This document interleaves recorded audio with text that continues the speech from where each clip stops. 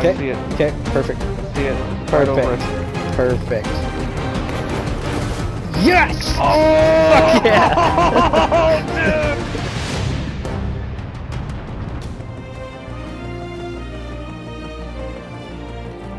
I just had to show that epic only in Battlefield moment there at the start. A big GG to Team Mountain Goat for that cool clip. That was uh, some very well timed explosive power, I do have to say. It's cool to see clips like that happening again in the Battlefield franchise. At the start of Battlefield 5, we didn't really have that, but as soon as DICE unlocked the ability to start launching vehicles again, this kind of stuff is happening more often than you might think.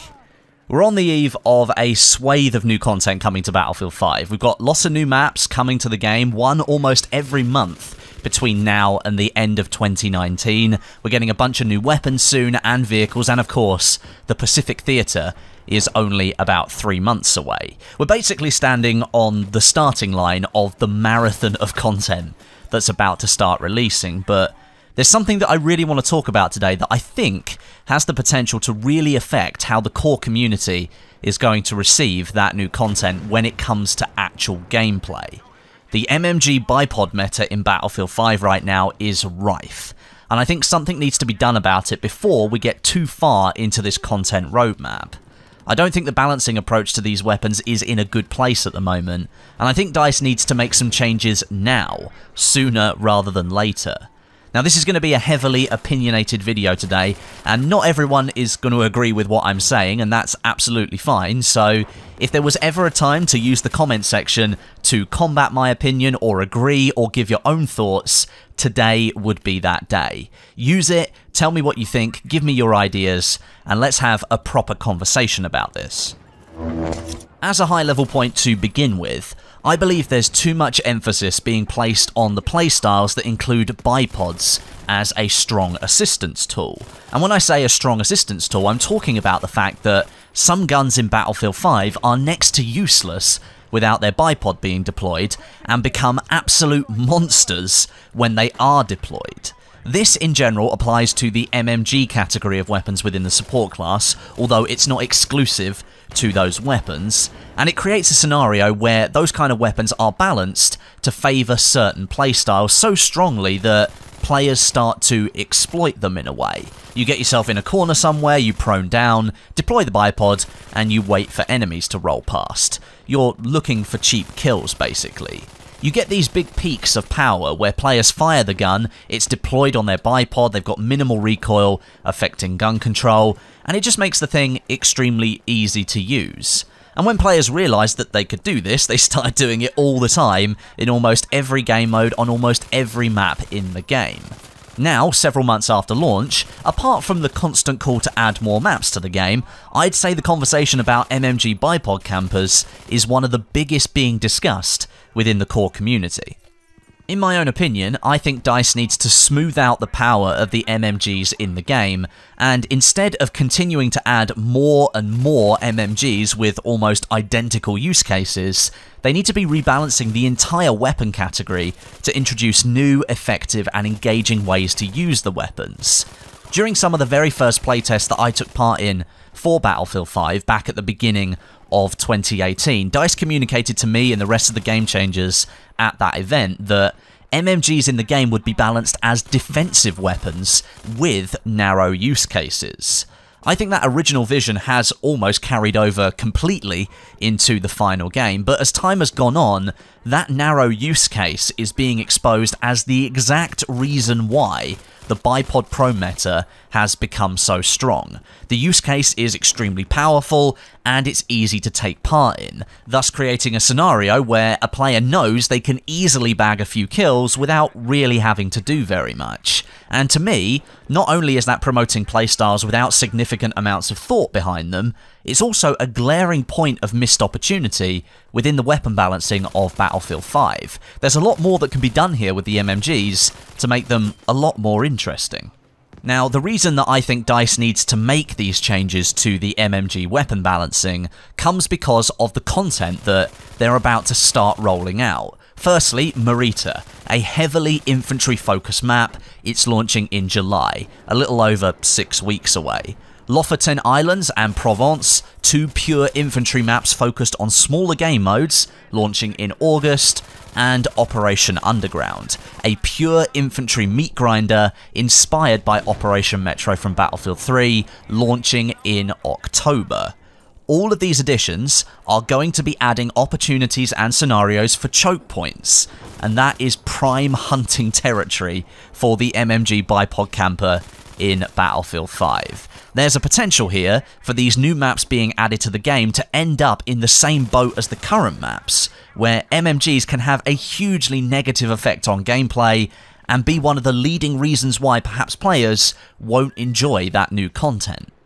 But of course, sitting here saying that MMGs need to be rebalanced is really easy if you don't come up with any kind of solutions to how they could be rebalanced. Now, I'm not a gameplay designer at DICE, I don't tune weapons or anything like that, but I have had a think about it, of things that could be done to try and improve and change this experience within the game. And at a high level, I have a few points that I'd like to try and make to say, here's how I would change things.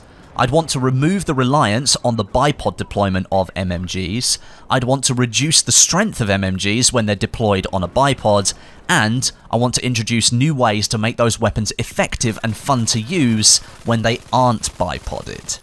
Now, I mentioned earlier that MMGs have these massive peaks in power when they're deployed on bipods, and they're next to useless when they aren't deployed on bipods.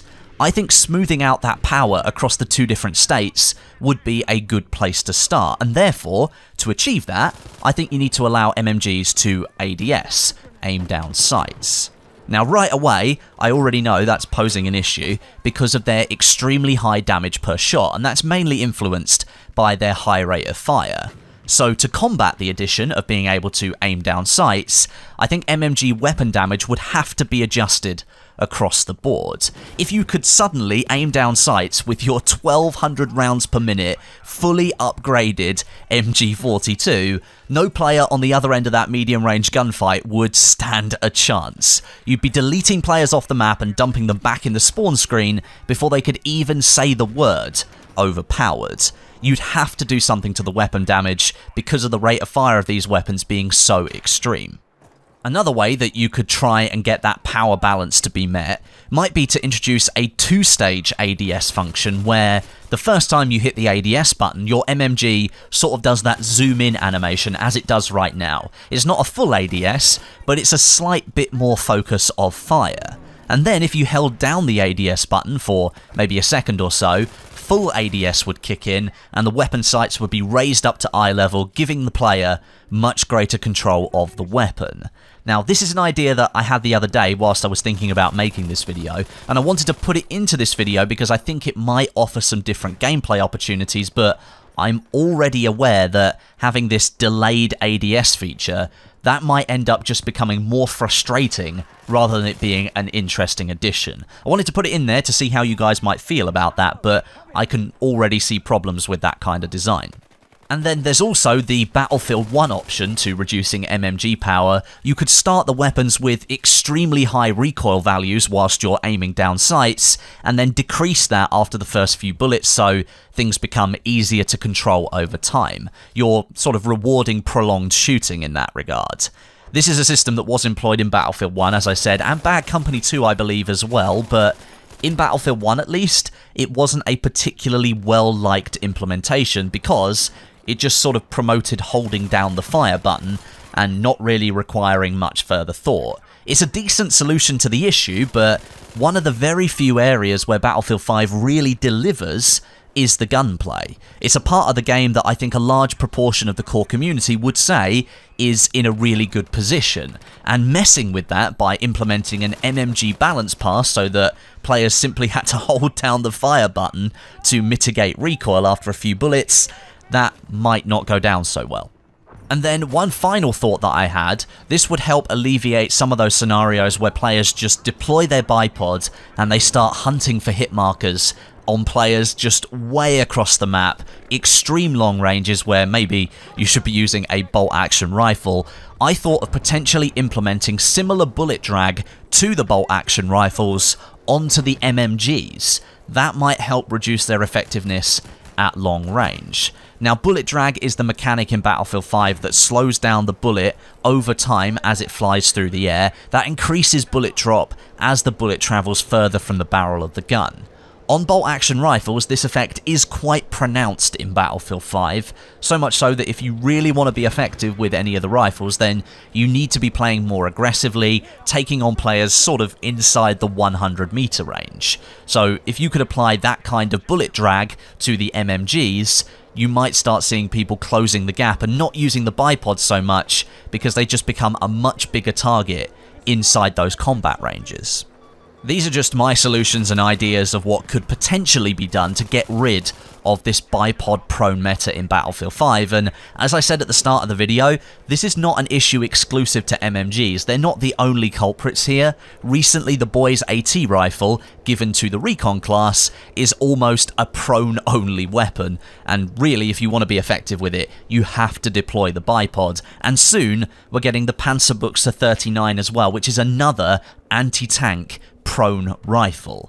There's got to be more interesting ways to balance these weapons without defaulting to a narrow use case like proning or bipodding, and I'm worried that this continued focus on prone or bipod gameplay is going to have a harmful effect on the upcoming maps that DICE is planning to release for the game. And as I said at the start, I think they need to start working on this now and come up with a new balancing model before we get too deep into that new content, and the same issues arise on these new maps that we've been dealing with for months on the current maps. You want people to remember your new content for the good reasons. The fact that Marita is really well designed and that Operation Underground is a really good reimagining of Operation Metro. You don't want that to be marred by the fact that these locations could be prime hunting grounds for MMG bipod campers. You just don't want that to infiltrate. Battlefield 5 has had enough bad press as it is, and it would be great if this new content that was coming out just wasn't affected by some of the bad decisions that have happened in the past for this game. However, that is all just my opinion, and I'd love to hear what you guys have to say as well. So leave your own thoughts and ideas down below in the comment section today, and maybe have a look at what other people are saying as well. We've all got our own points of view here, and I think it's really important that we consider as many different points of view as possible when we're forming our own opinions. But a big thank you for watching today. Like this video if you enjoyed it, subscribe if you loved it and you want to see more Battlefield 5 videos in the future. But until next time, my name is Westie, and I'll catch you guys in the next video.